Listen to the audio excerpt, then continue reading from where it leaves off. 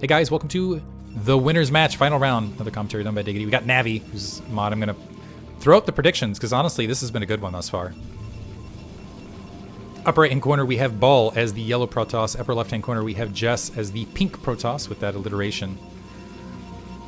Between these two, honestly, could be anyone's match. I like what Jess. I, I like the tenacity of Jess. I like that Ball has kind of. He's. I feel like that match. There were mo multiple opportunities to throw that away, but Ball held on, held strong, closed it out. Can he win this final match to advance out of the winner's bracket? I think it would be deserved. Jess, opposite corner. Keep in mind, whoever loses this match still has an opportunity in the losers uh, series after this, or sorry, the final series after this.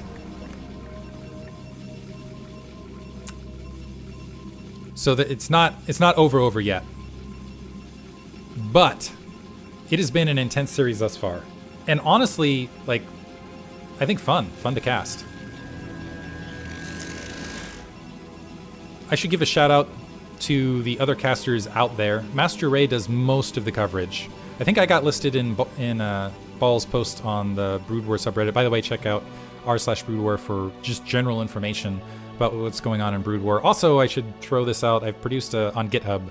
There's a GitHub community resource list of just all sorts of places to find, I don't know, communities, things like that. Ball may be going for the 12 Nexus again. Starting, uh, counter, counterclockwise scout, and unfortunately, if he goes for it here, this is going to be, uh, does it right in the face of this probe. Jess sees it. Just shows that it's been seen.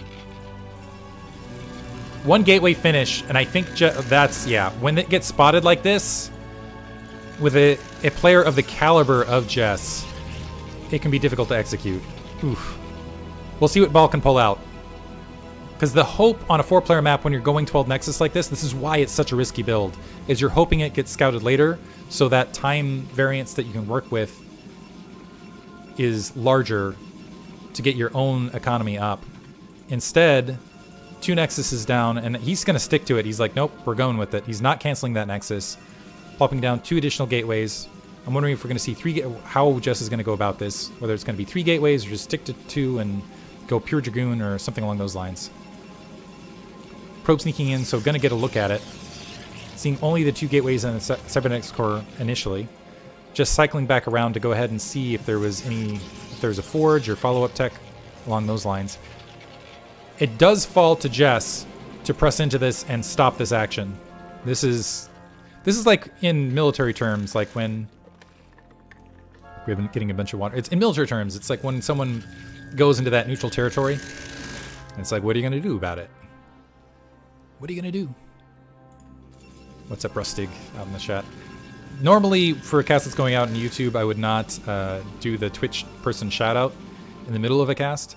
But because it's Rustig and he got an unfair ban recently, I'm still gonna go ahead and still gonna go ahead and give him the shout out. Two gateway production of just pure dragoons. There has been a single zealot, a couple zealots produced here for Ball. He's gonna have three zealots on the front. Surprised we're not seeing a third gateway or any additional pressure. Range being upgraded. Jess still playing it off just two gateways. With this probe in the wings. And unfortunately, yeah, and maybe, okay, this is interesting. So just rather than going, is just going to play from, I keep saying apparently rustig instead of rusk ig. My bad. I'll get better. Cybernetics Core about halfway finished. I almost feel like Jess is dropping, I don't know, Jess knows this game better than I do, but I almost feel like dropping the initiative a little bit. Because it looked like it was going to gateway into expand the follow. We will see though. Nothing has happened just yet. Now the Dragoons marching up. That is four Dragoons versus, or two Dragoons versus five Zealots, though. Plenty of time. There's a proxy pylon from Jess. So this is where we will see the action. I'm going to assume a robotics facility. I think we're going to see with this many Zealots on the uh, ground, Robo Reaver. Robo Reaver. Cybernetics Core is out for Ball. I want to see some additional gateways and a forge. So four Dragoons to harass these Zealots. And actually, maybe pick if you can pick off that Dragoon, that's huge. Because the more Dragoons that get picked off, that's like fewer units that can go after the Reavers. Just need, just playing this very carefully because you need to be careful. That's brilliant. Move to the south because that moves these units away from where they might be able to spot this proxy tech and kind of discover what's going on. There's the third gateway planted for Ball. No third gateway for Jess. Possible we'll see a third gateway at this location, but maybe not. I think the there is an opportunity for Jess to kind of slow Reaver walk right into this. Again, I love it from Jess. Picking off, so knowing that Reaver Tech is going to be the choice. Going in, sneaking in, trying to pick off these Dragoons so that those Reavers are safer and more secure. Because Reavers do not care about Zealots. They might as, well, they wouldn't, might as well not be Zerglings. But they're basically, you know, beefier Zerglings, right? They're like, I don't know, a fourth an Ultralisk. Maybe less. Point being, they don't care. Just okay to, like, invite this to the high ground with this many Dragoons. The thing is, is, like, thinning out that count at this stage. And also love it just building the robo, uh, the support bay back here so that even if this is lost, there's still an opportunity to recuperate. Now getting an observatory just in case, but kind of get eyes and press into this. Six gateways, sorry, five gateways going to be up. Another cannon in the front just in case there was a drop. Ball still very much in the dark. Getting weapons online. Ball does have the overall economic advantage, We'll have the gateway unit production advantage, but this is going to be the critical thing. Ooh, forward pylon here to disrupt some of that. Because here's the thing, these Dragoons will need to slip by target that Reaver. If we see a shield battery back here, that'll be a big advantage. But on top of that, that provides some of that misfire opportunity. Zealot mm, is going to be able to sneak out, might maybe even get a scout. While realizing, okay, need to take care of this now. Reaver making the way forward. Too little, too late. Ah, still gets the pylon. So small victories. Is Jess going to slow play this or just kind of press into this? Waiting on the observer, I think, to kind of get eyes on... Because this you want that observer so you can kind of get the, uh, the nice attack spread at this stage. Spreading these units out, kind of in a protective cusp around. Reaver slowly moving forward. Oh, this feels like one of those...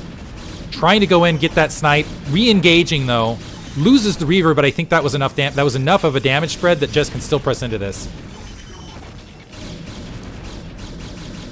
Keep in mind, there's still gateway reinforcements. Another Reaver should be able to slow move. A single Zealot has been able to sneak across, though. Might be able to get some disruption underneath. Jess working on this natural expansion. High ground, miss shot advantage. But still, that's significant amount there on the ground. But the Zealot from Ball going up, trying to take care of these probes and stop that gas production. Probes coming off the line to try to defend this. So Ball's not out of this yet. High ground advantage plus the production that can happen there could even things out. Another Reaver here on the ground does just re okay, just now realizes that this is a problem. It's going to be a while, and that disrupts a lot of that gas. Also buys time for Ball. Forward pylon from Jess. Maybe to get a shield battery in the natural. The Reaver slow crawling. The probes trying to defend themselves. And this is economy that Jess couldn't afford to lose. Reaver shot does it. It's going to be a dud. So Ball still maintains a sizable probe lead. A pylon there to provide some misfire off the high ground.